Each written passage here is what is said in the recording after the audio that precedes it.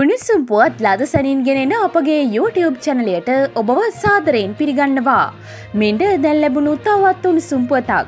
ගුරු විදුහල්පති සේවාවන්නේ වැටුක් ගැටලුව සම්බන්ධයෙන් සොයා බැලීමට පත්කරන ලද අනුකාරක සභාවේ නිර්දේශ ක්‍රියාත්මක කිරීම ප්‍රතිපත්තියක් වශයෙන් අමාත්‍ය මණ්ඩලය අනුමත කළ බව අධ්‍යාපන අමාත්‍ය දිනේශ් ගුණවර්ධන මහතා පවසනවා. ගුරු ගුරු උපදේශක සහ විදුහල්පති සේවා සංවෘත සේවාවක් ලෙස ගැසට නිවේදනයක් මගින් ඉදිරියේදී ප්‍රකාශයට පත් කිරීමටද ඊයේ පැවති කැබ්නට් මණ්ඩල රැස්වීමේදී අනුමැතිය හිමි වූ බවයි අමාත්‍යවරයා කියා සිටියේ. රජයේ ප්‍රවෘත්ති දෙපාර්තමේන්තුවේ අද පැවති කැබිනට් තීරණ දැනුම්දීමේදී මාධ්‍ය හමුවට එක්වමින් අධ්‍යාපන අමාත්‍යවරයා මේ බව කියා සිටියා. වැටු විෂමතා අයවැය මගින් ඉවත් කරන තෙක් සැප්තැම්බර් මස් සහ ඔක්තෝබර් මාසවල රුපියල් 5000ක විශේෂ දීමනාවක් ගෙවීමටද අමාත්‍ය මණ්ඩල අනුමැතිය හිමි වූ බවද අධ්‍යාපන අමාත්‍ය දිනේශ් ගුණවර්ධන මහතා එහිදී සඳහන් කළා.